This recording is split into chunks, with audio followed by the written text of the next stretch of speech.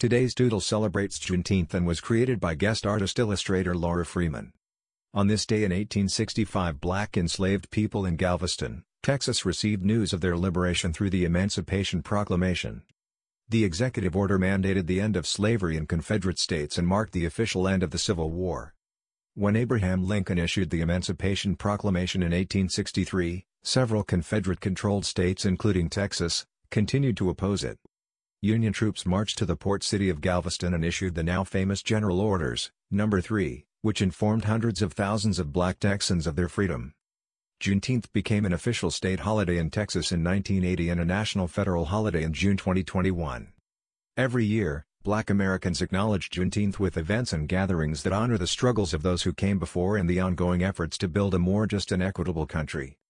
Today's artwork depicts a multi-generational community celebration of the holiday with symbols of freedom including a dove, Juneteenth flag and kente cloth patterns. Happy Juneteenth!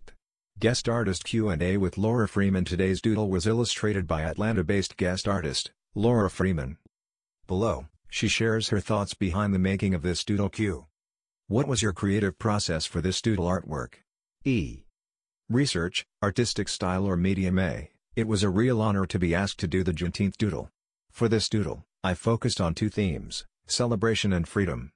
I incorporated the Juneteenth flag and kente cloth patterns.